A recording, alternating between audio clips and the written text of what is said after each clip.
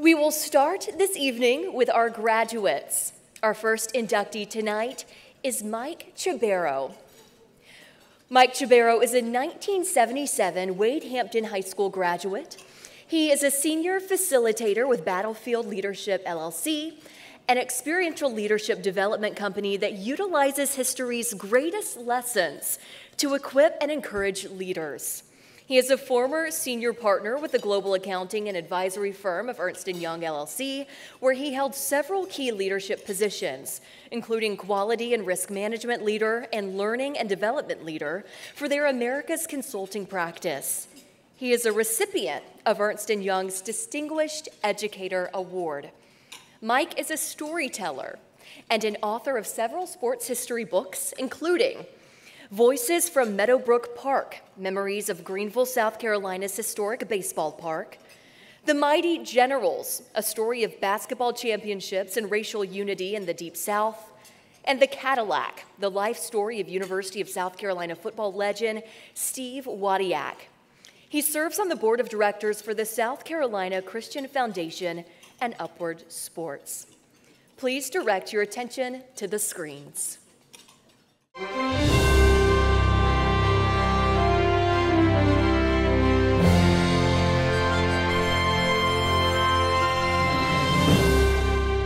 If you're looking for someone who represents Greenville County Schools and the product they produce, uh, Mike Chibbaro is your man. Mike has uh, given his whole life back to the community. I came to Wade Hampton High School in 1973. I can remember being very nervous and afraid that first day. But very quickly, that school and its teachers and students welcomed me. My basketball coaches at Wade Hampton were a big influence in my life. Coach Lynn Howard, who was my JV basketball coach, uh, taught me some things about leadership that I now value. Coach Johnny Ross was my varsity basketball coach. Coach Ross gave me the perfect example of what it means to be a man of integrity, a man of character. In the classroom, uh, I, I remember fondly my 11th grade English Lit teacher, Miss Sue Wilson. I have to admit I was probably not the biggest fan of Shakespeare, but what I remember most about Miss Wilson's class was her just uh, infectious smile. I majored in accounting, uh, ended up taking a job with Ernst & Young, uh, one of the big four accounting firms, and spent 31 years there in a, a very rewarding career. I came to a place in my early 50s where I kind of uh, feel like I had a mid-course correction, and I was able to uh, pursue some things that I'm really passionate about. One of those being leadership.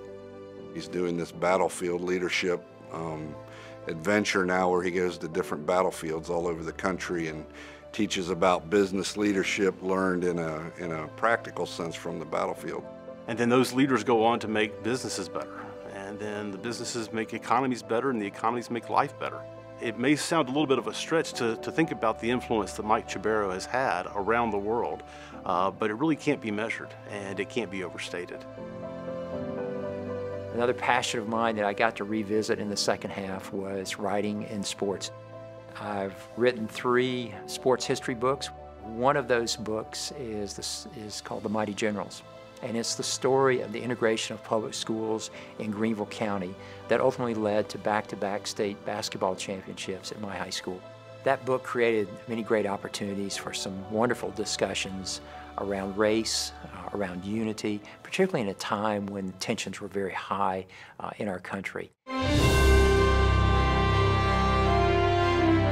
He wants to do things the right way, uh, do the right thing the right way he always has this forward thinking, what's next, what's ahead, and I think that's a great characteristic to have, and I think that's what keeps driving him forward is what's next. My faith teaches me that retirement's not really an option. You, you've got to keep serving, you've got to keep giving your life away. And I guess for me, if um, I have a core belief, it is that um, a life well lived is a life lived for others. He's a man who can trust.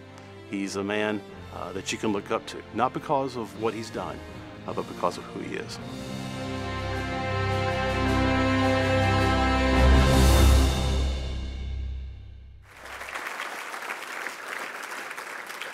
Please join me now in welcoming Mike Chibbaro to the stage and congratulations.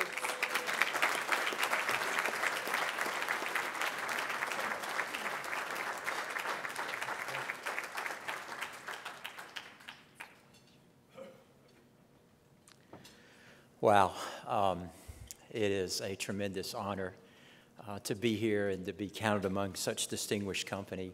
I want to say, first of all, thank you to the school district. Uh, thank you to the foundation, the selection committee. I am incredibly humbled uh, to be a part of this distinguished group. I um, am reminded of one of my favorite sayings in life. It says, um, if you ever see a turtle on top of a fence post, you can be certain of one thing. He didn't get there by himself. And as I stand here before you, uh, I stand on the shoulders of so many who made sacrifices uh, on my behalf, made investments in my life that gave me opportunity, and so I'm eternally grateful. I wish I could thank everybody here tonight. I'll, I'll thank a few that are obviously very special to me. I'll start with my family who's here. I'll start with my wife, Cindy, 38 years. Uh, Cindy, you are my inspiration, my motivation, my greatest encourager, my greatest fan. I wouldn't be here without you. Uh, and most of all, uh, as you were married to a guy who traveled way too much for business over a 40 year career, uh, you were the rock that provided the stability in our family. So thank you for that. My three sons are here Matthew, Philip, and Nick. Uh, thank you for the men that you have become.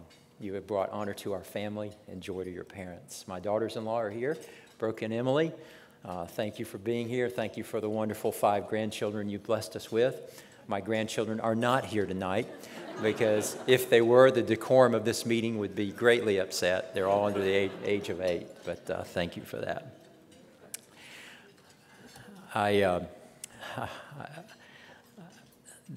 I was, I have to admit, when I got the call that I was uh, going to receive this honor, I really told, I honestly told them, I said, you have to have the wrong number because I just really felt like there was not anything significant in my life that would warrant something like this. And so I had to ask him, I said, Who is the crazy person that nominated me? And they told me who it was. And I recognized the lady. She uh, is, goes to our church where we've gone for the last 25 years. And in that moment, it kind of all came together, and I figured out why I was here. You see, there's nothing good that has ever happened in my life. There's no blessing I've ever received. There's no honor I've ever received that I can explain outside of the grace of God. And so, in closing, I, I want to thank someone who's not here, who's passed on, but um, uh, had something to do with putting me on that path. And that happened to be a teacher and a coach at Wade Hampton High School. In the spring of 1975, I'm a sophomore at Wade Hampton, and a coach by the name of Bill Phillips football, basketball coach, athletic director at the school. He started something at Wade Hampton that uh, he also started at Greenville High many years before. I hear he was a busy guy. He had a busy schedule. He had a family. Nobody paid him extra to do this, but he started a chapter of the Fellowship of Christian Athletes. And Coach Phillips invited me to one of those meetings, and it was there that I heard for the first time that God had a plan for my life and that He wanted to have a relationship with me through His Son, Jesus Christ.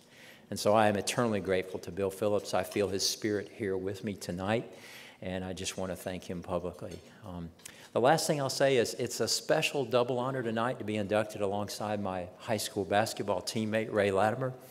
Uh, Ray, when I passed the ball to you in high school, it never came back. Um, but you've made up for that, and I love you, and so it's an honor to be here.